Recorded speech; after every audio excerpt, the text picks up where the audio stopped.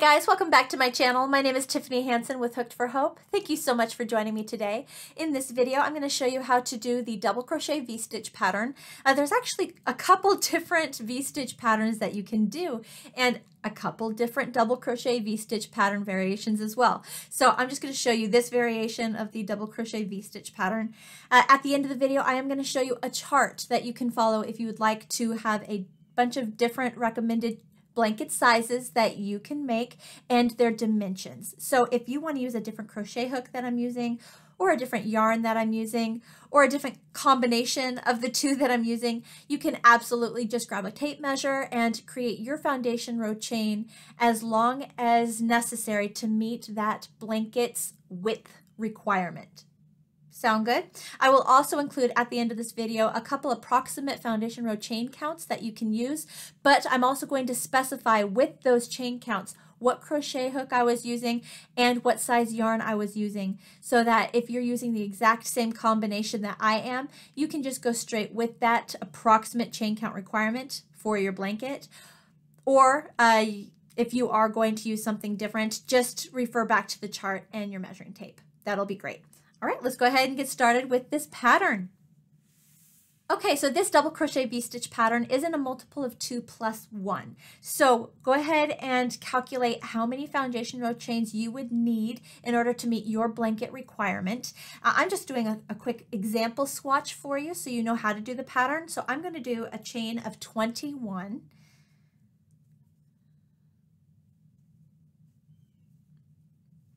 One, two, three, four, five, 19, 20, 21.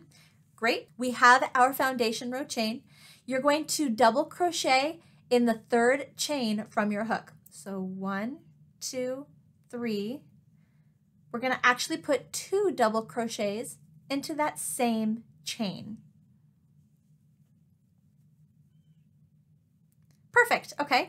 Then skip a chain and two double crochets in the next chain.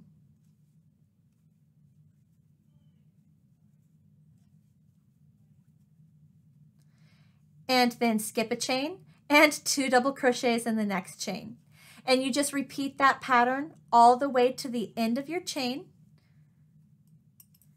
And you will actually be putting two double crochets in the very last chain. So I will go ahead and meet you at the very last chain to show you what to do next. Until then, go ahead and continue working this skip one, two double crochet, skip one, two double crochet pattern all the way to the, the end of your foundation row chain. All right, skip one, last chain, we are putting two double crochets. One, two. Great. Okay, we are done with row one. On to row two. We're going to chain one, turn our work, and we are going to put two double crochets in this space right here between the two groups of two. Okay, we are not putting anything between our two double crochets.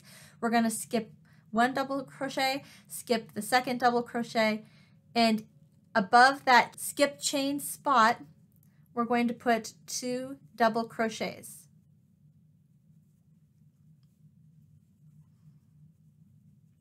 Perfect. Skip the two double crochets, find the space in between, and put two double crochets.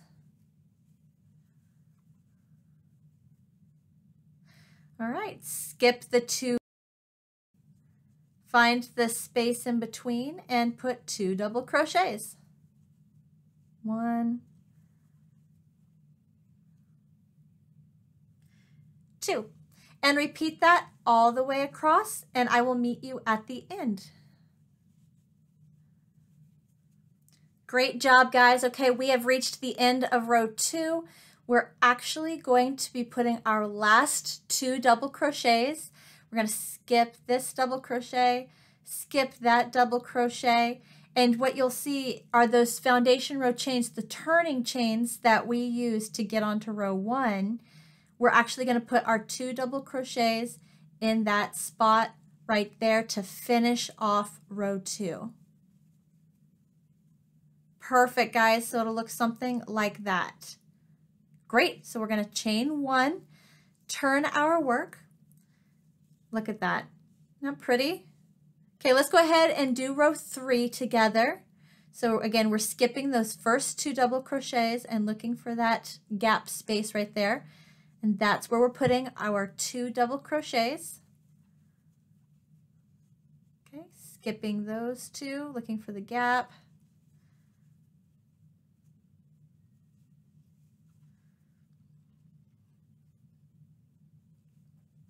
All right, continue all the way across row three.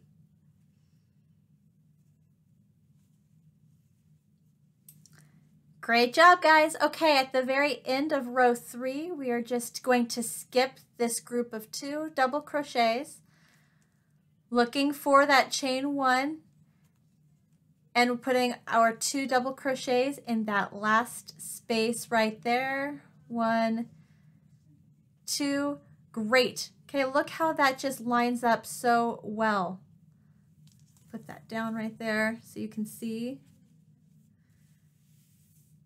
Great, it's gonna look so pretty and the pattern is really pretty also. Perfect, and that's all you do for this double crochet V-stitch pattern is just chain one, turn your work, and continue to put two double crochets in the gap space between the groups of double crochets. That's it. All right, guys, the next thing you're going to see is a list of my approximate chain count requirements for your foundation row, depending on the project you're looking at. And I will also show you the chart with different blanket options that you can make and their measurements. Both of these charts will be located in the notes section below with a link that you can click on so that way you can print those off for easy access.